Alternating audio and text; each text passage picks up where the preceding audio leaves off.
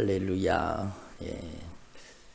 저와 여러분이 주님의 목소리, 성령의 음성을 들을 수 있기를 바랍니다. 예.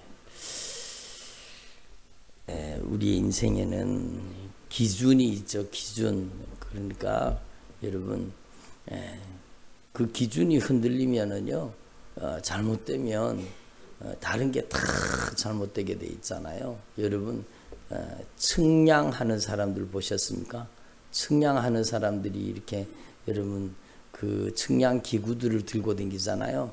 근데 그 측량 기구들이 여러분 그 무슨 일을 하는가 하면 예, 측량 포인트가 있습니다. 이미 측량 포인트를 다 이렇게 예, 찍어놨죠, 박아놨죠. 거기서부터 정확한 위치를 이렇게 잡아가지고 어, 그 땅을 측량하는 것입니다. 요즘에는 또더 세밀한 GPS 장비, 장비들이 나와가지고 그걸로 또 이렇게 측량하는데 도움이 되기도 하고 그래서 그 GPS 장비는요 정확하게 우리의 위치를 알려주죠. 위도와 경도 이렇게 정확한 좌표를 찍어주면은요 그 좌표에 여러분 에, 군에서도 그 좌표에 막 그 이제 사격 지휘 프로그램이라고 해서 포병 부대에서 그런 GPS를 사용하고 있습니다. 그리고 여러분 이 정확한 위치를 아는 게 진짜 중요하죠. 그게 기준이라는 거지 기준. 그런데 기준이 흔들리면 됩니까 안 됩니까? 안 되지요 안 되죠. 시간도 마찬가지예요. 시간이라는 게 여러분 전 세계가 어, 조금씩 이제 시간대가 있잖아요. 그 우리는 일본하고 같이 이렇게 시간대를 같이 쓰는데 여러분 그게 시간 기준이죠 기준. 그래서 여러분 그 기준이 흔들리면 안 되는 거예요. 그래서 가장 정확한 시간이 여러분 GPS를 통해 수신되는 그 신호를 보면 정확한 시간을 알 수가 있죠. 제가 이 말씀을 드리는가 하면은요, 우리의 인생의 기준이 흔들리면 다 흔들린다는 겁니다. 우리의 인생에 여러분 기준은 바로 하나님의 말씀이라는 것입니다. 그래서 하나님의 말씀이 우리 인생의 가장 중요한 기초요. 하나님의 말씀이 기준이 된다는 것입니다. 그래서 구약 성경 여호수아 말씀을 보면은 너는 마음을 강하게 하고 극히 담대히 하라 이렇게 얘기합니다. 마음을 강하게 하고 극히 담대히 하여 나의 종 모세가 내게 명한 율법을 하나님의 말씀을 다 지켜 행하라. 그러면 네가 어디로 가든지 형통하게 될 것이다. 그리고 이 하나님의 말씀을 준행하는데 좌로나 우로나 치우치지 말라 이렇게 말씀합니다. 한번 따라봐 좌로나 우로나 치우치지 말자. 그러니까 하나님의 말씀에서 치우치면 안 된다는 겁니다. 하나님의 말씀의 기준에서 벗어나지 말라는 겁니다. 그래서 여러분 하나님의 말씀의 기준, 기준에서 절대로 탈선하지 말고 여러분 하나님의 말씀의 기준으로 돌아올 수 있기를 바랍니다. 그리고 하나님의 말씀이 뭘 하는 것이냐? 우리 인생이 여러분 하나님의 말씀을 통해 아 내가 하나님의 말씀에서 이렇게 벗어났구나. 그러면은요 하나님의 말씀을 통해서 또 다시 돌아오는 겁니다. 누구에게로? 예수 그리스도에게로. 그래서 여러분 성경 전체는 뭘 얘기하고 있어요? 예수 그리스도를 얘기하는 겁니다. 그러니까 여러분 저와 여러분의 인생의 중심이 예수 그리스도라는 겁니다. 예수가 중심이라는 겁니다. 그런데요, 여러분 예수가 중심이 되어야 우리 인생의 가장 중요한 기준이 정해지는 거잖아요. 여러분 예수는 어제나 오늘이나 영원토록 동일하지 동일하신 거예요. 그러니까 영원토록 동일하신 예수님이 우리 인생에 여러분 확실한 기준이 되어 주시는 겁니다. 그렇잖아요. 근데 한번 생각해 보세요. 내가 주인이 된다. 내가 중심에 있다. 그러면 그러면은요, 여러분 내 기분 따라, 내 감정 따라, 내 형편 사정을 따라, 여러분 내가 기준이 되면 그렇게 위험해지는 겁니다. 그래서 구약 성경에도 보면은요, 내 기준으로 살다가 망한 사람들이 있잖아요. 내 기준으로 살다가. 그게 바로 사사시대의 백성들입니다. 사사시대의 백성들은요, 여러분, 그들이 신앙생활 안 한 게 아니요. 그들이 가나안 땅에 여호수아의 영도 아래 그 가나안 땅 적과 꾸리는 축복의 땅 가나안 땅에 들어갔잖아요. 그러나 그 가나안 땅에서 신속하게 그들이 망하게 된 겁니다. 왜 그런가 하면 여러분 하나님의 말씀의 기준을 버리고 하나님의 말씀을 망각하고 하나님의 말씀대로 살지 않고 자기들의 소견에 오른 대로 자기가 주인 되냐 자기가 중심에 있는 겁니다. 이게 망하는 게요. 우리의 인생의 기준점은 말씀입니다. 그래서 여러분 우리 인생의 가장 중요한 기준점이 말씀인데 하나님의 말씀에서 이탈하면 안 된다라는 겁니다. 그래서 여러분 예수가 중심에 계셔서 예수님이 여러분의 인생에 여러분 기준이 되시고 여러분 우리가 예수님을 진리의 말씀을 우리의 중심에 모셔서 내 소견에 오른 대로 내 마음대로 내 형편에 따라 내가 좌지우지하는 그런 삶이 아니라 내 형편 내 사정에 따라 이리 갔다 저리 갔다 그러는 게 아니라 우리는 예수가 중심에 계셔서 언제다 여러분 우리의 인생의 무게 중심이 예수께 있기를 소망합니다. 저는요 여러분 참 신기한 게 저희 그 이제 저희 집에는 그런 게 없었는데 저희 그 고모님 집에 가니까요 그게 있더라고요. 그게 얼마나 처음에 볼 때 신기했는지 몰라요. 그게 뭔가 하면은요 아무리 쓰러뜨리려고 해도 쓰러지지 않는 것 뭘까요? 오뚜기 오뚜기 야, 그게 진짜 신기하더라고. 어릴 때 그걸 봤는데요. 아니, 오뚜기라는 것은 그냥 막 집어 던져도 막 갖다 집어 던져도 막 그러다가 또 탁 바로 서요. 막 예, 발로 집어 차도 바로 서고 여러 집어 던져도 바로 서고 여러분 땅바닥에 던져도 팍 요동을 치다가도 또 팍 바로 서는 거예요. 이야 너무 신기하다. 왜 그런가 봤더니요. 그 무게 중심이 딱 밑에 있는 거예요. 그러니까 여러분 예? 흔들렸다가도 다시 제자리에 돌아오는 거예요. 그래서 신앙생활은요 예수가 중심에 있어야 되는 겁니다. 아멘. 예수가 기준입니다. 예수가 표준입니다. 예수가 우리의 인생의 가장 중요한 기준이에요. 여러분 안식일 여러분 주인이 예수님이세요. 예수님. 안식일의 주인은 예수님이 안식일에 여러분 예수님께서 여러분 예? 병 고치는가 안 고치는가 그 고발하려고 그러잖아요. 근데 예수님께서는 안식일은 생명 살리는 날이라는 겁니다. 여러분 영혼 살리는 날이라는 겁니다. 모든 기준은 예수님이십니다. 그래서 저와 여러분의 인생에 참으로 예수가 중심에 계셔서 예수 그리스도께서 우리 인생을 주관하실 수 있기를 바랍니다. 예수 중심으로 사는 사람은요, 세상의 풍파에 흔들리지 않습니다. 예수 중심으로 사는 사람 세상의 시류에 흔들리지 않습니다. 여러분, 언제든지 예수 중심으로 좌로나 우로나 치우쳤다면 빨리 예수에게로 돌아오는 우리의 중심이 예수 그리스도로 안정되게 여러분 오뚜기처럼 예수가 우리의 무게 중심이 되기를 소망합니다. 우리 인생의 중심이 예수가 되어야 되는 거예요. 그래서 저와 여러분이 예수로 충만한 주의 종들이 되기를 바랍니다. 그런데 여러분 교회 다니는 사람들이 저를 보세요. 신앙생활 하는 사람들이요. 여러분 자기가 중심에 있어요. 여러분 그걸 자기도 몰라. 자기도 인식을 하지 못하는 거예요. 교회 다니면 신앙생활인 줄 알고 교회 다니면서도 여전히 자기가 중심이 중심이 자기예요. 그러면서 주님께 도와달라는 거 주님께 주님께 도와달라는 겁니다.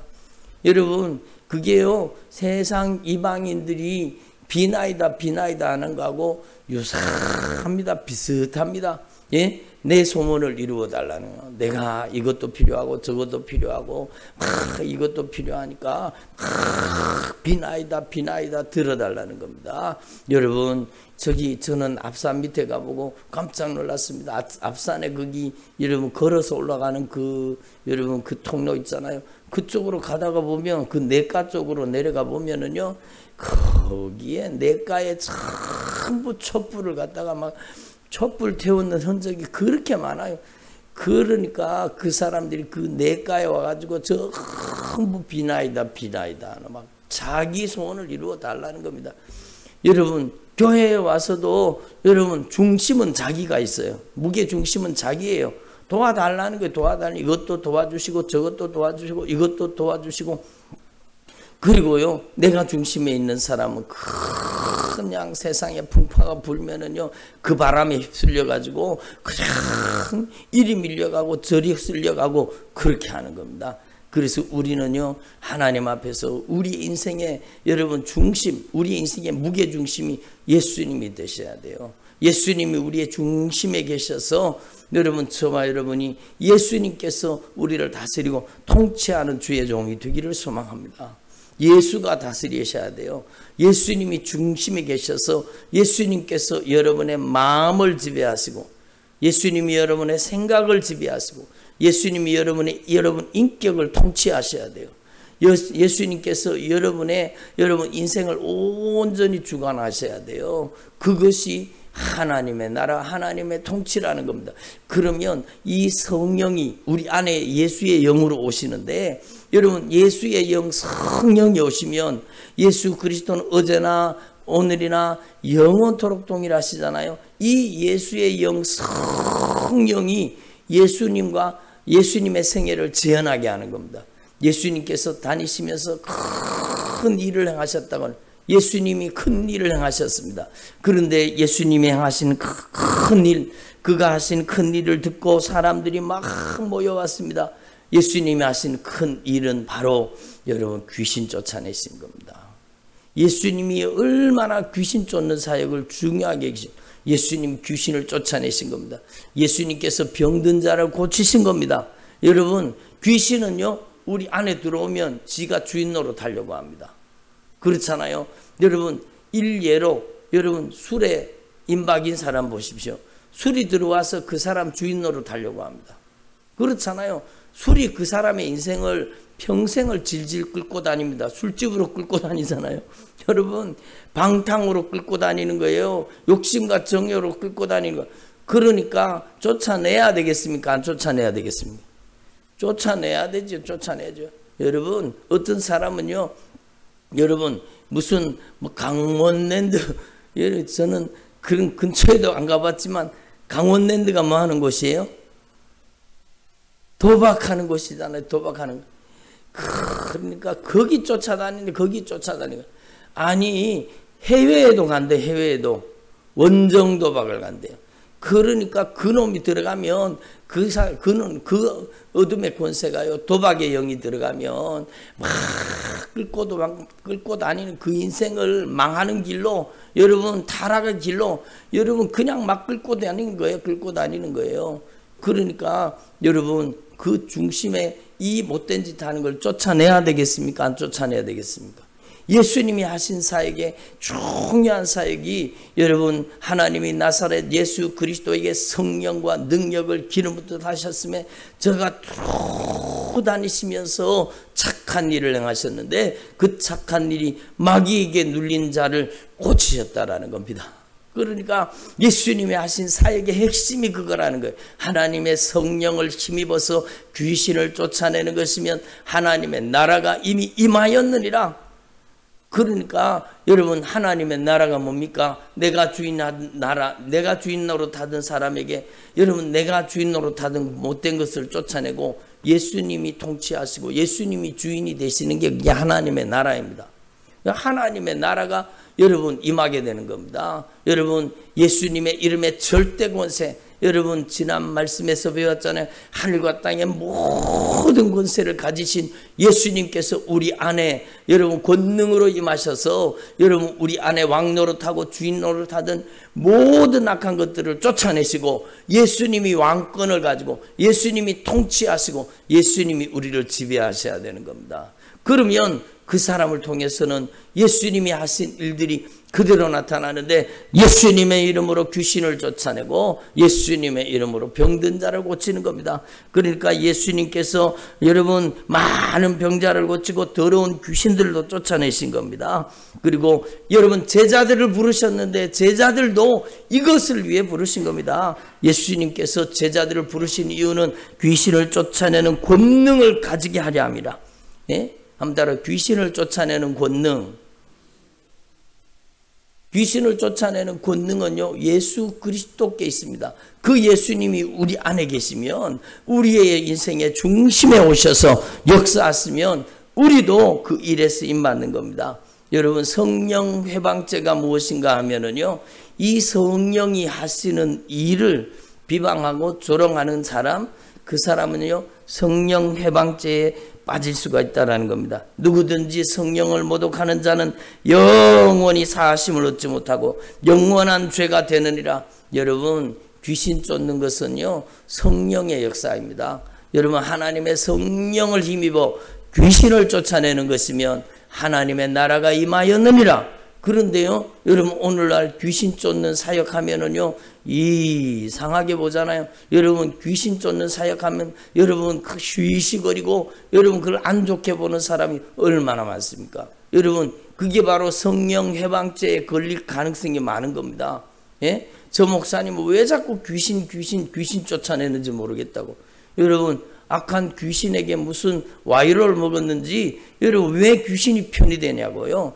그러니까 우리는요, 하나님 앞에서 절대로 우리는 주님의 편에 서야 되는 겁니다. 우리의 중심에 예수님이 계셔서 날마다 날마다 우리 안에 도둑질하고 죽이고 멸망시키는 악한 것들을 예수님이 몰아낼 수 있는 권세를 주시고 능력을 우리에게 주신 것입니다. 아멘. 예? 저와 여러분이요, 이 일에 쓰임 받는 주님의 종들이 되기를 바랍니다. 여기 보면 사람이 먼저 강한 자를 결박하지 않고는 그 강한 집에, 자의 집에 들어가 세간을 강탈하지 못하리니 결박한 후에야 그 집을 강탈하리라. 주님이 이렇게 말씀하잖아요. 그런데 놀라운 소식이 있습니다. 예수님께서는 여러분 가장 강하신 분이십니다.